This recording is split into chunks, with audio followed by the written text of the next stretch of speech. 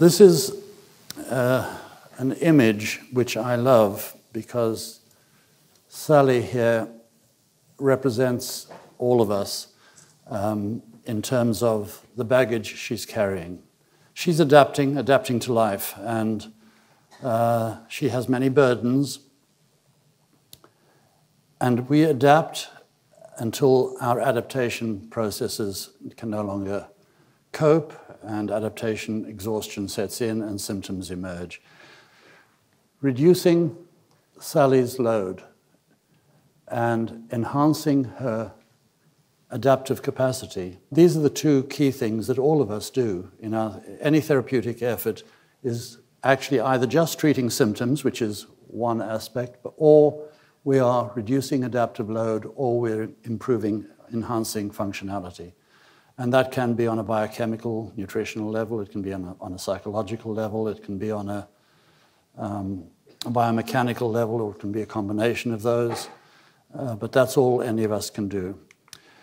Uh, we need to consider the unique attributes of our patients and try to remove adaptation demands, lighten the load where Sally's concerned, enhance functionality um, by focusing on the whole person, and remembering, this is important, that any therapeutic intervention, change your diet, more exercise, modify structure, modify anything, is another adaptive load. So we, it's fine tuning what we ask patients to do or what we do to them to their ability to respond. Because it's very easy to overload an already ad- over adapted decompensating system. Uh, the analogy of a piece of elastic that's stretched so far that anything else is going to make it snap, we've got to try and reduce that stress, introduce more resilience, more elasticity. We need to encourage and educate and explain whatever it is we're asking people to do, not just tell them what to do. Uh, there are biomechanical approaches, biochemical approaches, psychosocial approaches, um, and we, we, people need to understand the, concept of self regulation. Patients need to know that all we do to them is to enhance the functionality of self regulation, homeostasis. We, nothing that you do cures anything. People cure themselves or they improve themselves by their activities. We need a couple of definitions. There's a European definition and an American definition, and we'll just have a quick look at them. It needs to have been around for at least six months to be, qualify as um, chronic, uh, and it needs to be related to the structures related to the pelvis. That's from uh, Fall in the European Uro Urology Journal. American definition uh, requires that, again, six months.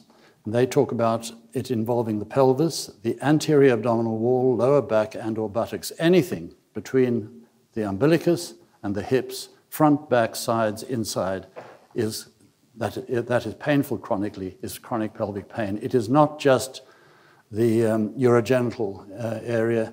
It, is, it can be uh, irritable bowel, it can be um, pelvic pain of a biomechanical nature, sacroiliac, low back, all of that is chronic, if chronic, is chronic pelvic pain. So anything to do with the content or the structures that support uh, the pelvis can, be, can meet that definition.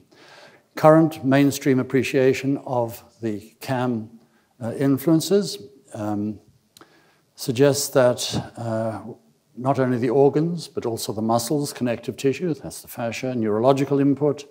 All of these need to be evaluated. They talk about this in women, but it involves men as well. And the, the, the text that I put in in the red-brown color um, takes us to the one aspect of this, the susceptibility of the pelvic floor musculature to the development of myofascial pain. Myofascial pain, trigger point activity, we will see is a key element in some of the research that shows what can be done.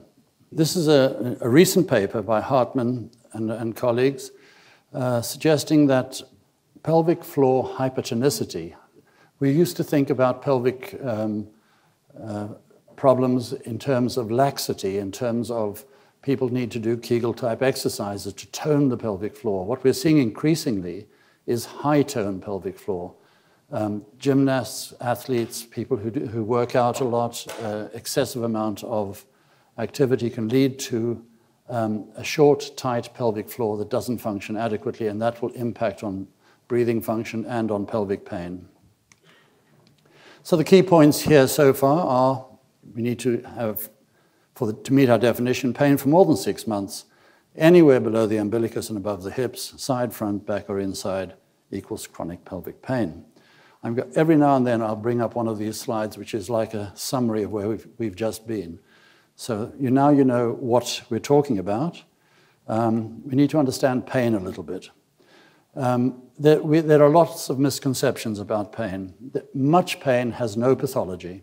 Many people with known pathology uh, report having no pain. So you may have scans which show all sorts of anomalies, no pain, or people in pain and scans and other um, imaging shows nothing. More than half of people with MRI anomalies in their lumbar spine have no pain. Um, objective medical evidence findings don't predict pain. And the most consistent biomarker for chronic pain involves changes in the function and structure of the brain, cortical areas of the brain, whatever the diagnosis. And this is a, um, uh, the shorthand of that is pain is in the brain. Does that mean we ignore the periphery? Well, we'll see that that's not, not the case, but in essence, pain is in the brain. Uh, and we call it central sensitization. The, the brain becomes hyperreactive. So if we look at this image here, here you have um, heat or some other pain generator, and what the person feels is pain. This is normal. And here we have a feather tickling the person and they feel touch. Those things are separate. We, I touch myself, I feel touch, I don't feel pain. I press hard, I feel pain. When you are sensitized, those same stimuli, heat or whatever, pricking, whatever, would produce a hyperalgesia, excessive amount of pain, and touch, the feather, might lead to pain, allodynia. So it is a, an increased sensitivity. So it's basically that low thresholds of sensory input can activate the pain circuits. So the person's degree of sensitivity has changed, their pain threshold has changed. And this is with all chronic pain, not only pelvic, uh, pelvic pain. How do you recognize uh, central sensitization?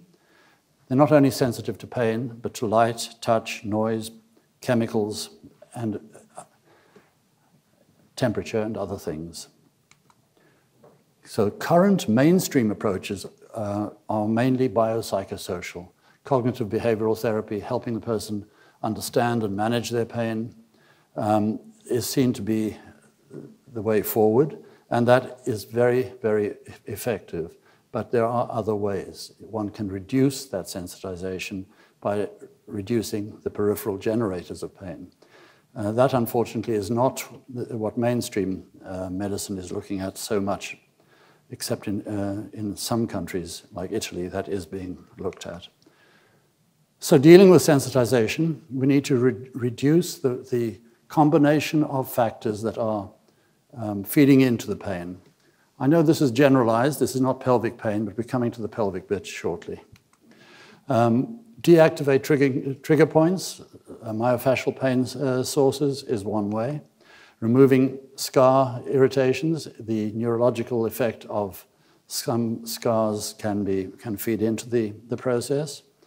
Um, improve functionality, spinal and joint.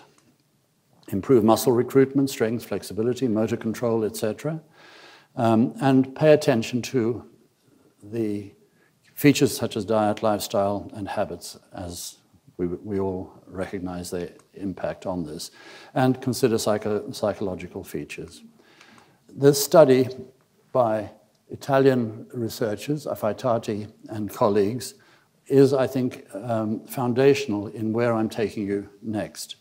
They showed in a randomized placebo controlled trial that by dealing with local muscle and joint sensitivity, um, they could reduce central sens sensitization. So here we have something which is actually saying, yes, this person has extreme sensitivity, as wherever the pain is. It could be fibromyalgia pain, could be any other form of pain, chronic headaches, migraine. In this case, let's just stick with pelvic pain.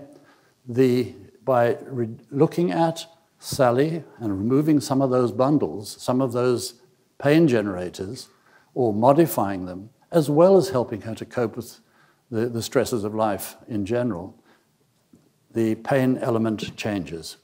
Uh, pelvic pain can change. A team effort is, is seen to be ideal.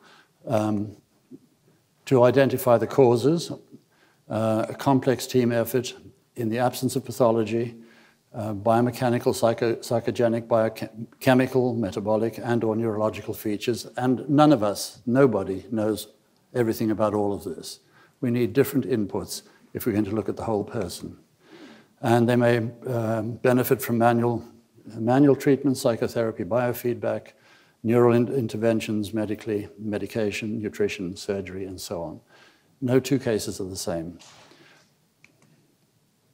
A recent study published this year um, in the uh, Journal of Obstetrics and Gynecology clinic, uh, Clinics in North, from North America.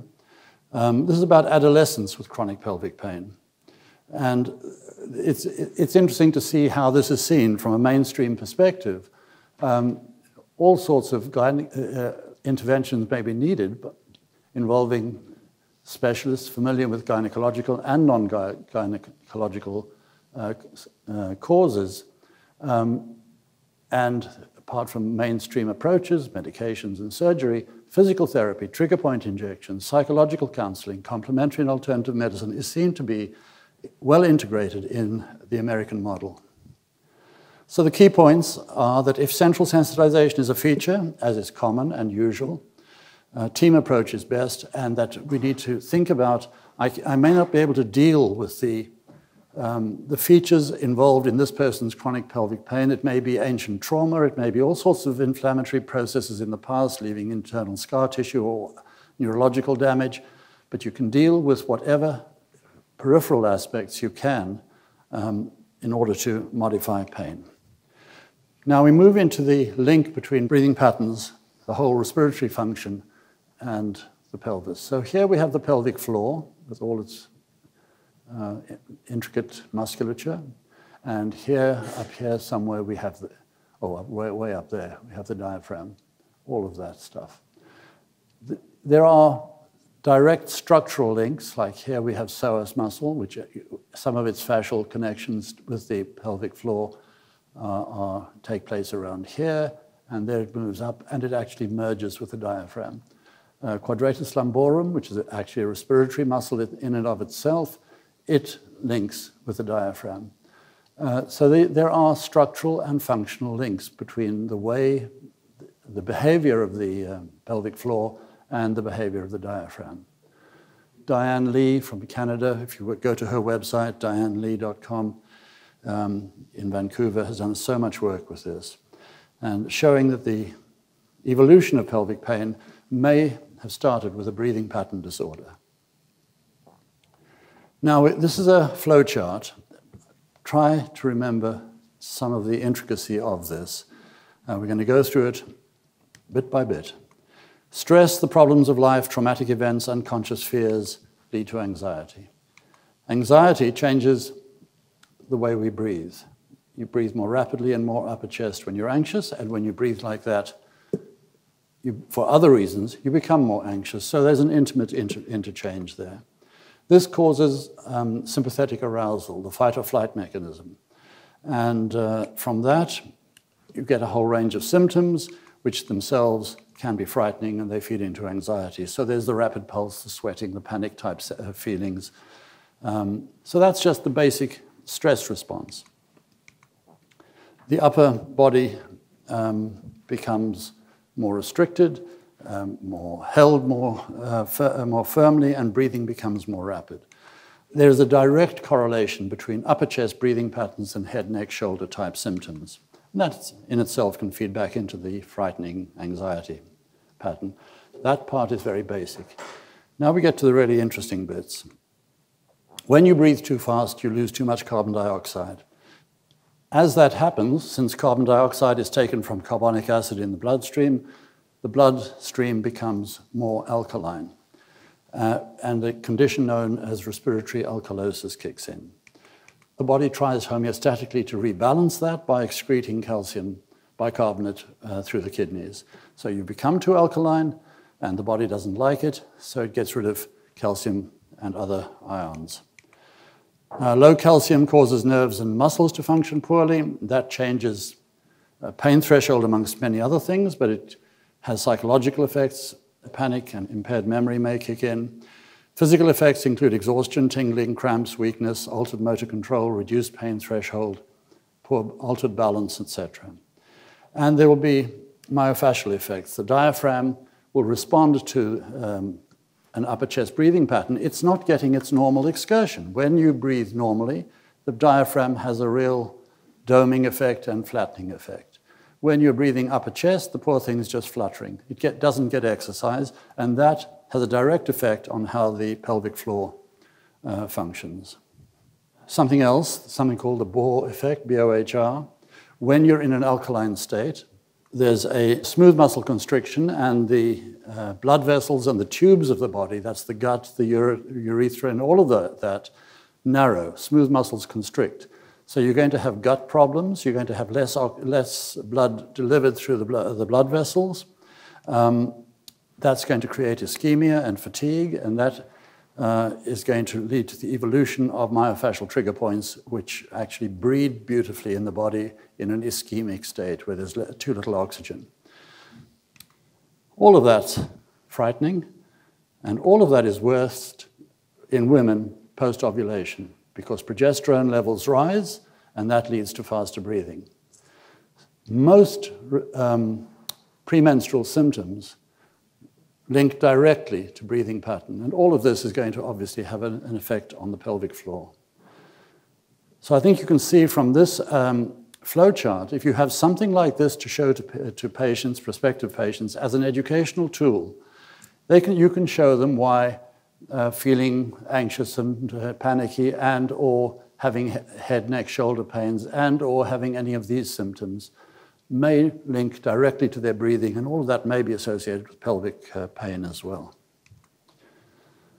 I also show people this little mannequin or womanikin, whatever she is, um, and the number of symptoms that can all be linked directly to breathing pattern disorders. Uh, and that, of course, includes pelvic pain. Don't for a moment think I'm saying that all pelvic pain is caused by a breathing pattern dis uh, disorder which is not a pathology, it's just a habit of breathing. Um, but all pelvic pain will be influenced by it, and it may be in, amongst the causative features.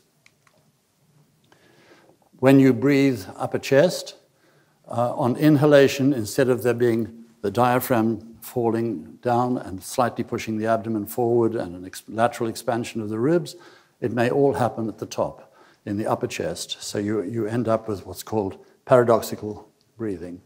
But you've also got paradoxical um, effects in the, in the bladder area, in the, in the pelvic area. If you have an urge to urinate and you're sitting in a theater, you're not going to want to do it right now, I hope.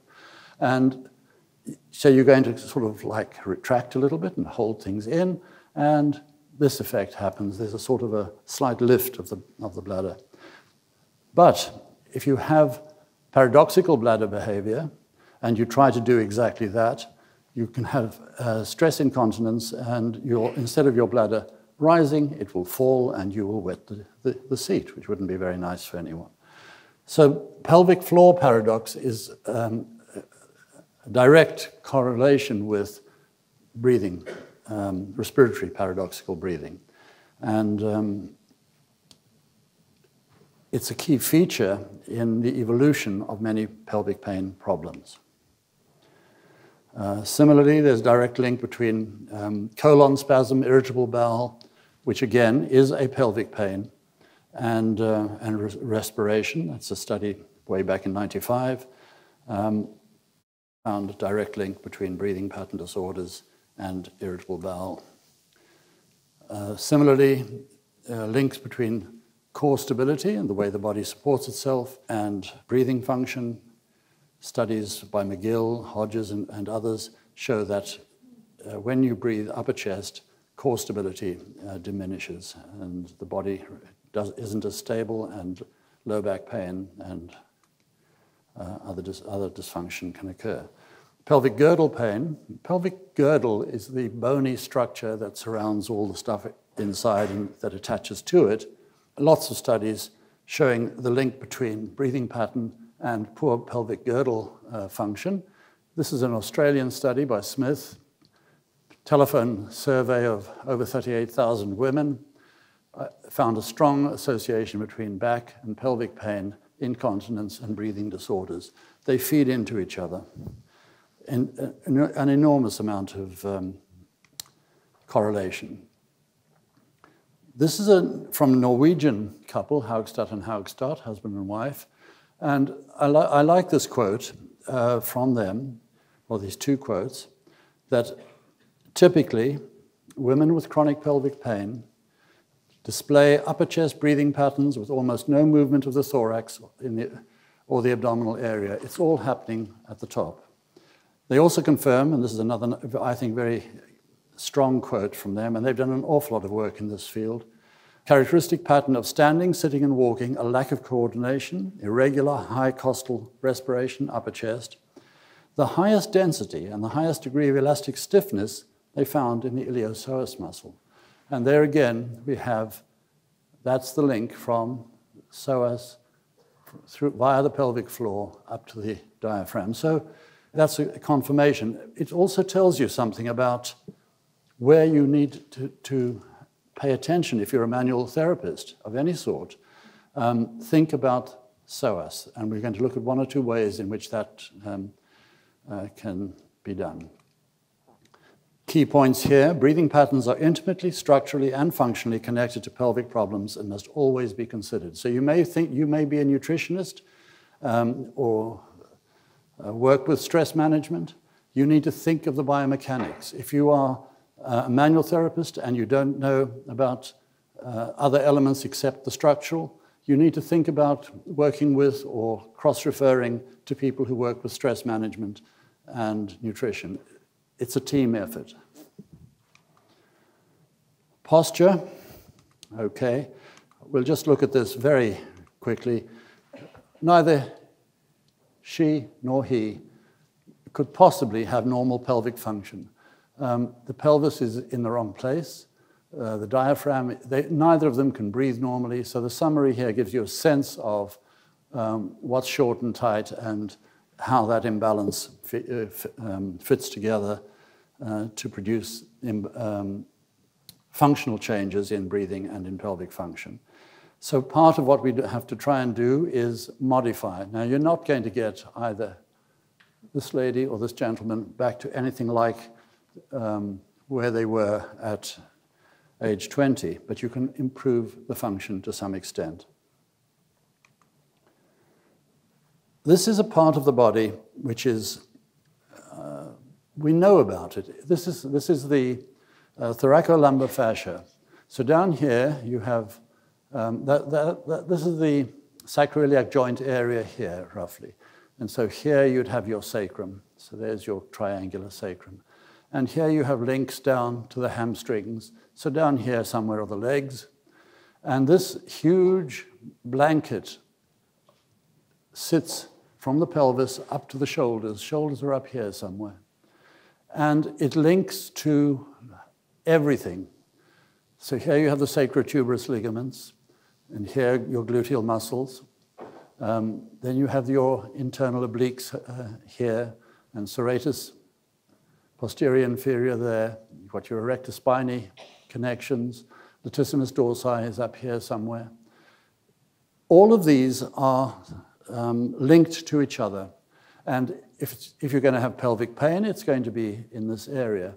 And if this structure, which links and, and shares load between all of these uh, muscles, is um, dysfunctional in any way, problems arise. So here we have fascial structure. it's not moving. My first thought was, okay, how do we get the darn thing to glide again? Because this person has low back pain, and that's pelvic pain. Um, we have to, there are ways of encouraging uh, the production of hyaluronic acid, which is the lubricant that helps it to slide. And so that was my first thought. And when I um, put that in a conversation with the researcher whose film this is, um, Helene Langevin, uh, who's from Harvard, she said very gently, she said, no, Leon, think another way. Here you have a structure which can't slide or glide. Could there be excessive strength tone in all of these structures so the damn thing can't move because it's being pulled in 15 different directions? So maybe the way to get it to slide again and help the back pain is to release the hypertonicity in those muscles. And if that doesn't work, then think about doing something to get the hyaluronic acid level. So we have to see it objectively. Here we have a, a great example of what not to do if you're um, youngish. Anyone who does too much squatting type activity, and examples are given American football, weightlifting, wrestling, baseball catchers, where you're in a squatting mode uh, in the, your developmental years, you can end up with the problems that this chap had. And you may be able to see a little sort of shadow there. Excessive tone on, obturator, uh, uh, on the obturator muscle has actually created a, um, an increase in, in bone, and that is causing pressure uh, on the pudendal nerve. So this person had chronic pelvic pain. The x-ray shows the altered shape on the left ischial spine.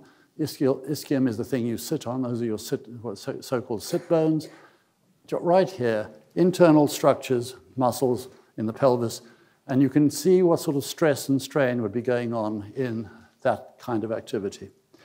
So we have here the beginning of a sense that what people do, especially in athletics and in repetitive activities, this could be someone in a gym doing this 20 or 30 times a day, four times a week. Not a good idea.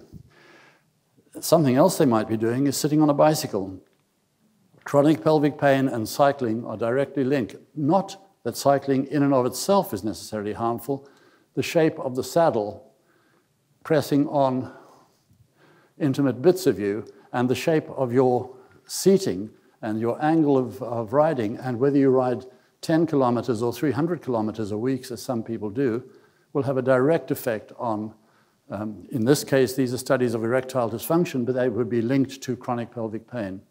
And the structures that are most at risk there are neural structures which are being compressed and distorted. So we have um, sporting activities or activities that involve repetitive crouching.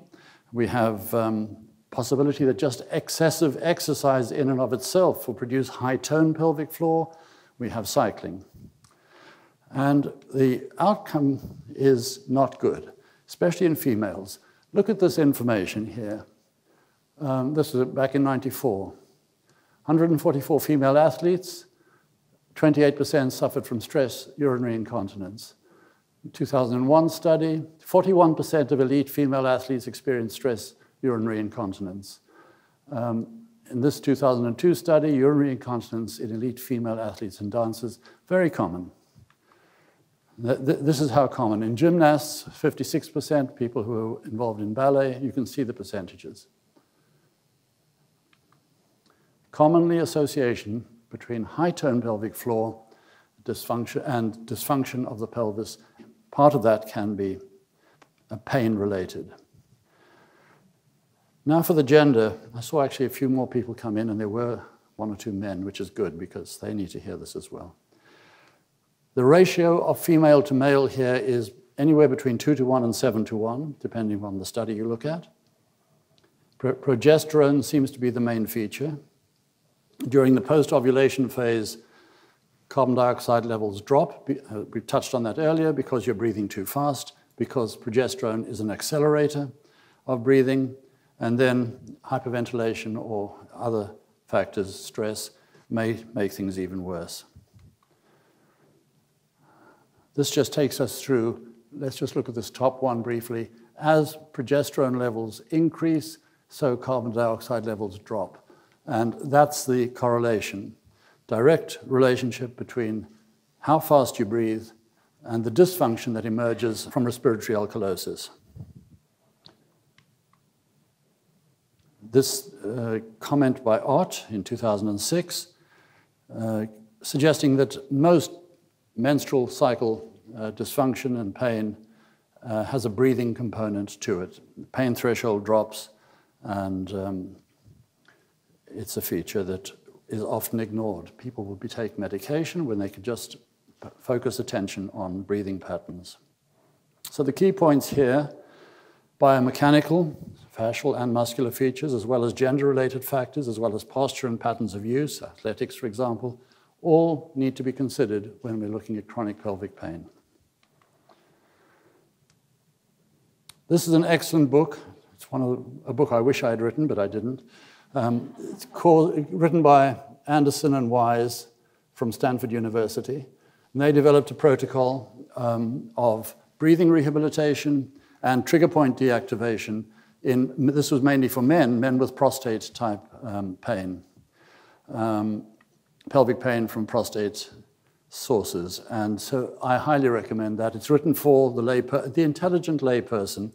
Um, I just about managed it. So great book, and their work is, is foundational in some of the work we, get, we do. So here we have someone doing old-fashioned skin rolling, now given the grand title of connective tissue manipulation, um, working on the inner thigh or the low back. And this was a study by Fitzgerald in 2009. That's again Stanford University in California. Randomized multi-center feasibility trial of myofascial physical therapy for treatment of urological chronic pelvic pain syndromes. There's a mouthful excellent study, and they found that by deactivating trigger points, sometimes internally, but as quite commonly externally, using different um, manual techniques, um, they had a, an excellent outcome. If you've not tried doing this with gloves, try it because you get more traction and uh, the fingers pull the tissue towards you as the thumbs glide through and you roll, so you get that shear force and any trigger points in there get reasonably rapidly demolished, and that shear force um, enhances the production of hyaluronic acid, so that's going to improve fascial glide. This is looking at the percentage of 72 patients in that study um, with specific myofascial trigger point tenderness. Internal muscles, which some of you may work with, I do, uh, it's, uh, some of the trigger points internally are, they're very easy to treat. And if you haven't trained in it, you need to train in it. But it's, it's excellent work. So puborectalis, pubococcygeus, 90% of patients had active trigger points there. You're never going to get rid of them externally, by working externally. They can only be demolished, deactivated, I should say, um, internally. Coccygeus, 34%, and the ani, sphincter ani, 16%. Externally, though, there's a lot you can do. Um, over 50% in rectus abdominis, down the anterior abdominal area. External obliques, also over 50%, and you can see the rest. So there are different ways of treating them. Some people use manual methods, some people use needling, um, some people use procaine type injections. There are lots of ways of deactivating trigger points. But all of these are going to be feeding into almost all pelvic pain. These are some of the abnormalities that have been found in this group of 49 women referred for pelvic floor physical therapy evaluation. This was also by Fitzgerald. These are just giving the information as to what physical findings. Panniculosis is like that orange peel in the skin, that sense that you can palpate. This was found in these percentages um, of women with pelvic pain. Trigger points were found in those structures. Anatomical changes included diastasis recti, which is this, where the central connection to rectus abdominis is broken down through pregnancy or whatever, and so that the muscles that attach to uh, rectus abdominis can't attach, so there's no support there, and you've got a, a gap here. Um, again, Diane Lee's work, go to her work, she spends a lot of time trying to rehabilitate uh, patients with diastasis recti and other dysfunctions. So here you have the, the myofascial type dysfunctions uh, where you have chronic pelvic floor problems. These are just some of the areas and the many muscles. Let's just take lumbar pain or sacroiliac pain, um, which is this area here. Any of these muscles may have active trigger points that feed into this. Um, and so this is just a map of guidelines. You'd have to search through all of these muscles to find potential trigger points that feed into the buttocks. So the key points, myofascial factors such as trigger points are commonly associated with chronic pelvic pain. Very important. These are some of the methods that are used, variations on the theme of myofascial release and neuromuscular techniques, um, where you get slow, non-invasive, not pain, particularly painful methods to try and change the behavior uh, of structures uh, that are dysfunctional and feeding into the pelvic pain. Uh, this is an, um, an excellent, I mentioned psoas earlier, by holding just above the ankle area and applying gentle traction to take out all the slack and holding that for about 10 seconds, and then having the patient retract and try and pull the leg in uh, so that you shorten the muscles while they're being stretched, so you're getting, getting an eccentric contraction. The therapist is still maintaining that traction. The patient is trying to shorten. And then after 10 seconds, the patient releases, and you take out a bit more slack, and you repeat, and you repeat, and you repeat.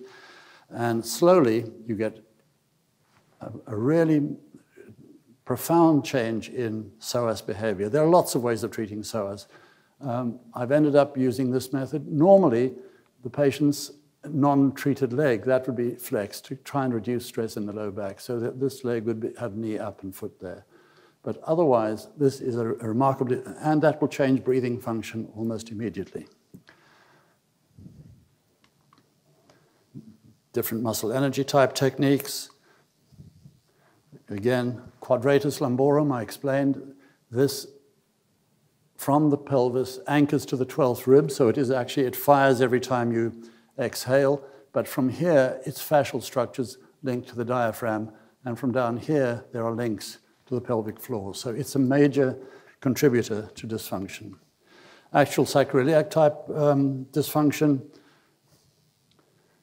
there are lots of different ways. This is just one manual mobilization approach. This is a balanced ligamentous tension, a very non-invasive approach which um, osteopaths use, or some osteopaths use.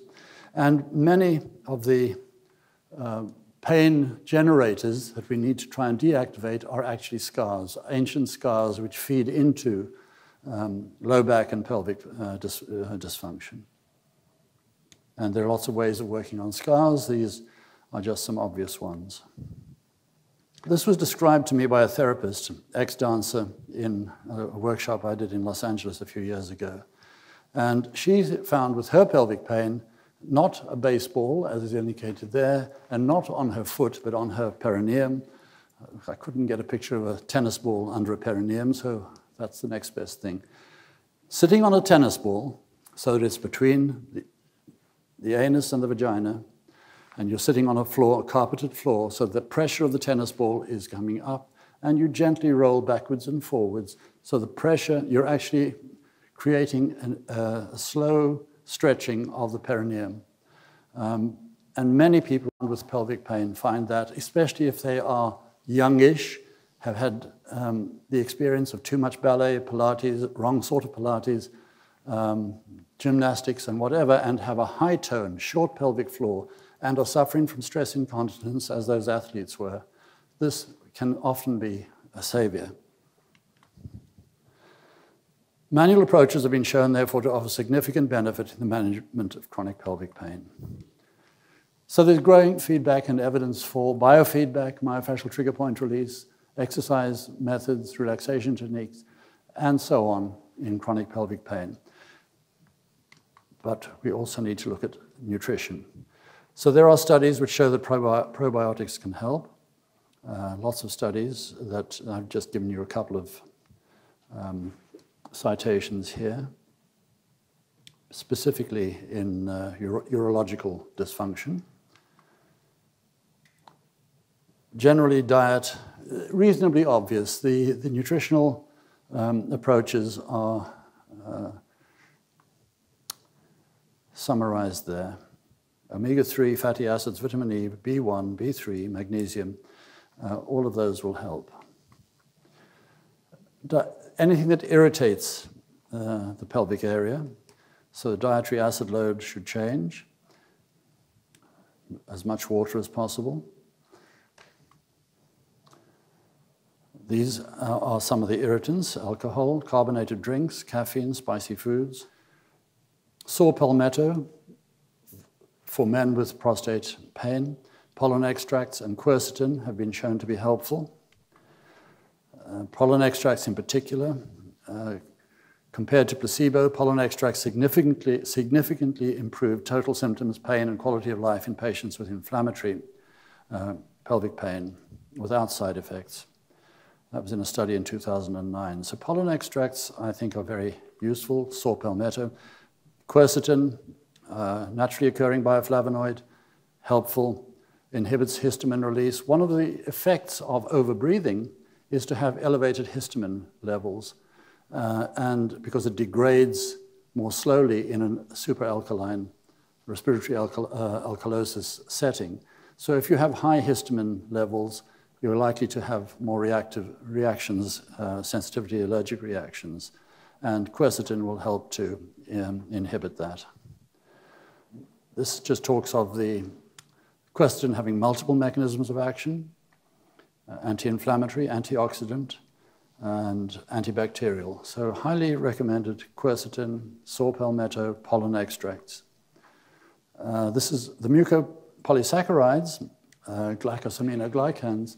These are going to help the fascial function, but they're also going to help bladder function. And hyaluronic acid, chondroitin, aloe vera type substances will assist with that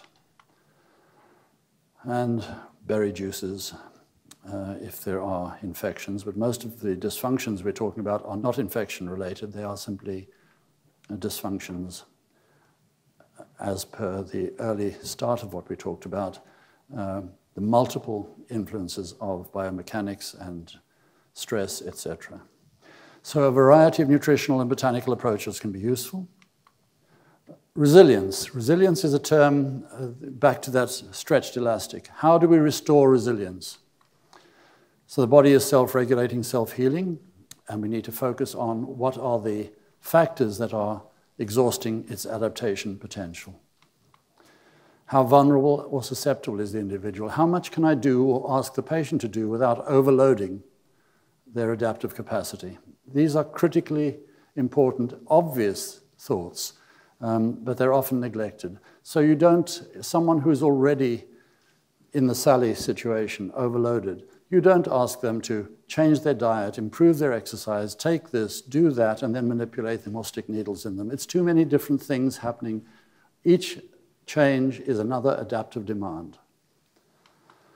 Uh, the art of healthcare is to appreciate where the patient is in the adaptation spectrum. That's the art of it. There are skills associated, and to make therapeutic choices that fit with the individual's ability to respond. All therapeutic interventions impose additional adaptive load. We've touched on that. Some, we have to recognize that some things are fixable and some things are not. Some things can only be contained or maintained. But within that framework, we can help. So it's where is this patient and what can we still do for them? Strain on elastic can be eased, it may remain fragile. We need to do that without creating a snap. Chronic pelvic pain frequently benefits from an integrated approach that involves both mainstream and integrated uh, methods and approaches. This is my dog. Um, that's a meadow below our house in Corfu. I live in Corfu. He lives in Corfu. My wife also lives in Corfu. but uh, she didn't want her picture shown, so that's his name is Dumbo. When he runs, his ears flap. Okay, this is to highly recommend that you think about either of these two books. I don't like self promotion, but the books are worth having. Yes, questions? One up there. the situation is with a woman who's not been pregnant and has had chronic pain in the right uh, groin area. Reasonably active. Age? Mid 50s. Okay. Had this for about seven years. Has. Medical diagnosis? No medical diagnosis. Very, very sharp pain on initiating movement okay. that goes once she's walking. Um, okay, I'm, I'm, i can only give, I can guess. Um, you, you were here when we were talking about uh, the myofascial pain. Yes. Uh, firstly, I would start with posture, breathing, history of any trauma, but you say that that's not there probably. So, how well does she breathe? How much is her diaphragm working? How well is it working? Uh, what is her posture like? Uh, we would start with there. And then, what um, evidence is there of myofascial trigger point activity that might be feeding in? So where is the pain? Then we looked at the map and we say, okay, if it's pain there and it's trigger point related, we don't know if it is, this is where we would look. And if we find, sometimes you'll find a trigger point that reproduces the symptoms immediately. Sometimes they're internal, sometimes they're external. So from a bi biomechanical perspective, I'd start there, and then I'd do whatever I can about general stress management and does she walk enough? Does she sleep enough? Does she, mm. what is she eating? So that, that would be my approach. Thank you very much. That's Thank very you. helpful. Anyone else got a question? There's one right down here. Just got a patient that is really standing out during this lecture. Um, she's only uh, 14, so she's an adolescent. Um, there's lots of things going on, on at home, including a sibling with autism. Um, and chronic pain has been a massive problem with this. Where is the pain? Um, all over. So it's central sensitization, basically. Okay. But I'm just wondering, in the situation where you can't change the factors that are going on at home, where do you sort of start?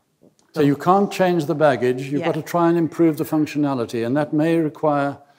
At 14, she can understand. She could work on her breathing. She probably breathes very badly. She, uh, uh, so you start with something there, very gently, very slowly, something, some non-invasive treatments like myofascial release and or um, crani craniosacral type work, which has a calming effect, not trying to uh, do the skin rolling, which would be a type effect. I, you've got to start with what you can do, but she first has to understand the process. At 14, you can take her through, this is happening, and, and these are some of your characteristics, and these are the symptoms.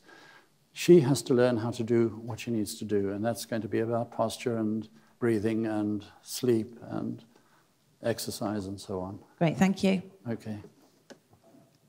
Hi, I'm by no means an expert at this, so it might be a silly question. Um, the sitting on the tennis ball. Yes. Um, I have someone, a man with pelvic pain, and he fits your description. I mean, he rode as an adolescent all through school and at Oxford. And, um, rowing would be another one, yes, yeah, I didn't absolutely. mention Um, and does a lot of heavy work and, and then now sits down all day for his job.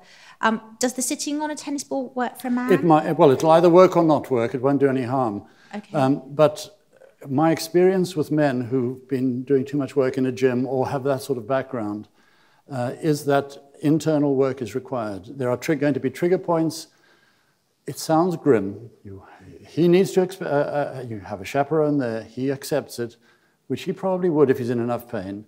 You're wearing gloves, you use a lubricant, you go internally in the, in, in the rectum, and you don't have to, you can't go very far, the fingers are only so long, but you just search gently around for anything that he'll go, yeah, out, when you touch it. It's a trigger point. The amount of pressure is in grams, it's not more than that. You hold the trigger point, you do very light stroking, just two or three. You might be able to apply a little bit more pressure, you ask him to, can you contract where, that bit of you around my finger so you get an isometric contraction? When he releases that, stretch a bit more, and that's enough for the day. And you'll see, the trigger point, next time you go visiting, um, you'll find that perhaps the pain is, it sounds grim, but good God, it works. And it works so quickly. Men do not enjoy it. They hate it. But if he's in enough pain, he'll say, yes, please, and he'll bring his wife or his whatever to sit and watch you like a hawk. Thank you very much. Okay. Uh, sorry to be so basic, but it's, it's fine. Yeah, one more question. Any experience with treating endometriosis? No, yeah, this, there is a the answer is the end effects thereof. You don't treat the endometriosis, you can treat the pain associated with it. But it is, that's a pathology. And um, So let me rephrase the question then. Uh, Have you ever experienced that people present with pelvic pain who may have also come with a yes, you can, you can often help the pain. You, I don't think we can do much. You, can, you could try and get the body to function better and deal with the inflammatory processes and so on. I, I don't treat the endometriosis. There are American naturopaths who have protocols where they use, uh, which I don't go into, they're just too complex for me. But yes, you can. And the things, so what we're working perhaps with the pain aspect of it rather than the actual condition. Okay, uh, one, one very last one. You have one minute. You said that there was either um, pelvic floor with low tone or high tone. What are the key identifying characteristics? A lot of it is about age. It's, it's a very good question. Uh, if you're talking about someone in their 20s, 30s, 40s, it's probably high tone, unless they've had six or seven babies, in which case it could be low tone or, or some sort of damage. But uh, obviously, in older, older people, there's more laxity, more likelihood of laxity. Although that's not a, not a sort of an infallible observation. I have had several elderly people with high tone pelvic floor when they have taken up uh, Pilates in middle age and been taught badly and are not working with the breathing rhythms and Pilates. Pilates is not harmful. Bad Pilates is. And then, then you, they may develop a high tone pelvic floor even in older age.